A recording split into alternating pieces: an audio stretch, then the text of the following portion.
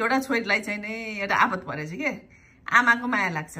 आमालाई पैसा पठाइदिनुहुन्छ औषधि किनेर खानलाई। तर आमाले के गर्नु रहेछ भने त्यो अलिकति दिनको औषधि किनेर खाने बाहिरको पैसा सबै दाइलाई दिने दाइले चाहिँ जुवा खेल्ने रक्सी खाने तास खेल्ने गरेर कमजोरी हो नि। अनि अनि छोरीले पनि फेरि त्यो आमाको लागि फेरि पठाइदिएन भने नि नाच्दाले फोन गरे आमाले त्यो दुःख कमाएर पठा हुर्काएको तँलाई नपठाइदिएर हुन्छ भने बराबर हो नि।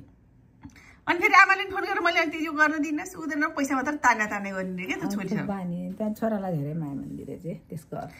उसलाई चाहिँ नि आएर आमालाई आफैसँग राख्न मन छ। माया सबै सुख दिएर आफ्नो आमालाई होइन? तर आमा आउन पनि मान्दिनन् फेरि त छोरो छोड्न सक्छ। साधारण साधारण त बेकार त कल्पना छोरा छोरीले जति गरे पनि देखिँदैन देखिँदैन। त्यो छोरीहरूलाई भनिदिनु क्या धेरै नगर्नु भनेर हुरुक्क गरेर पैसा होइन माया लाग्छ माया अनुसार अब खानै नपाए त अब ल्याएर घिच्याएर उचालेर ल्याएर राखेर खुवायो भयो। खान सकिन्जेल गर्न सकिन्जेल आमाहरूलाई पनि छोडिदिए हुन्छ क्या उनीहरूको ताना। अनि अब यताबाट आफूले आफ्नो बच्चालाई केही कुरा गर्न नलाएको आफूलाई नलागि नलागि अरूलाई लो पठाइन्छ कि जम्मा गरेको पैसा हुन्छ नि विदेशमा त गाह्रै हुन्छ नि जसको सबैलाई। त आमालाई पैसा पठाउने कि नपठाउने भनेर उसलाई दोधा गरिरहेको रहेछ कि। आमा जम्मा पारिराख आमालाई न छुट्याउ त्यो राखिराख कति हुन्छ। केही पऱ्यो भने गएर सबै थोक गरेर आफैले आउने बरु।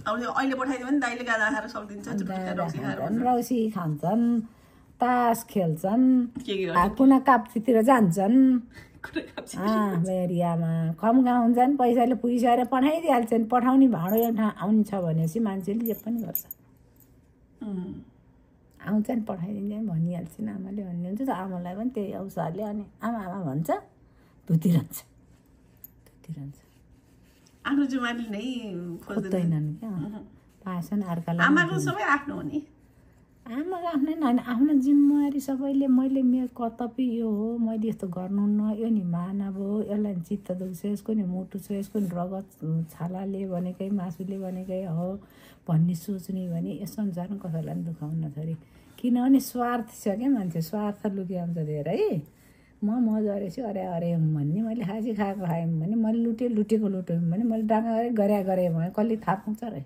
एकछिन एक लट त कसैले पनि थाहा पाउँदैन सबै लड भ्याउँछ अनि ल जाँदा जाँदा बानी बिग्रिन्छ आखिर धोका त उसैलाई हो नि लास्टमा त सुरु सुरुमा पो एक दुईचोटि माफ गर्छन् ल मरिराख भन्छन् छोड्छन् कति कराउने भन्छन् उ गर्छन् छोड्छन् अनि लास्टमा त उसले नि परिणाम त भोग्न पऱ्यो नि त्यसको भनेपछि पैसा पठाउनु भएन पैसा न अब चोरी छ भने कहिले काहीँ भन्ने कुरो पठाए पठाए अब चाहिँ थुपारेर राख उम्. थुपुक्क राख कति हुन्छ? अनि आफै गएर बरु व्यवस्था यताउति गरेर आउने त सबैलाई खाने होइन होइन नाच्दाले फोन अरे अड्छन् म अब नसक्ने मेरो फ्यामिलीले ढाक्यो भन्नु पऱ्यो। आफ्नो फ्यामिलीलाई हेरौँ कि त्यो अब भाइको फ्यामिलीलाई हेरौँ भन्नु पऱ्यो नि। आमा त हो त नि। सबैको आमाले कसले पाले खान्छ नि छोरीले। पाले होइन पाले खान्छ नि छोरीहरूलाई पर्छ नि। पाल्न त। सम्पत्ति त्यतिबाट जान्छ जान्छ सबै सम्पत्ति छोराले खान्छ छोरीलाई के खान्छ नि। खाँदै छैन नि छोरीलाई पाल्न। लाज मान्न पर्ने हो हामीले पनि। यहाँ लाज नमानी नमानी बसिएको छु म त। त मैले त्यही भन्छु नि। क्यार बसी हुँदैन बुढी आफ्नो छोरी कहाँ भन्छ अँ हो त नि भन्छन्। अनि एक्लै बस्छ भनेर भन्छन्। त्यो छोराछोरीकोमा भन्दा पनि हामीले चाहिँ नि सबै आफ्नै गर्नुपर्छ भन्दाखेरि। तर यो कुरा चाहिँ नि गर्नु रियल कुरा हो सत्य कुरा हो बस्ने होइन। अब यहाँ आफ्नो इन्डिपेन्डेन्ट भइन्छ ल अब भइन्जेल गरेर खाएको राम्रो हो। अब त्यस्तै बाध्यता हुँदो रहेछ कसै कसैको। कसैको बोल्न मिल्ने कुरा हुन्छ कसैको बोल्न मिल्ने कुरा हुन्छ। त्यसैले गर्दा मान्छे मुझिन्छ क्या। बस्छ।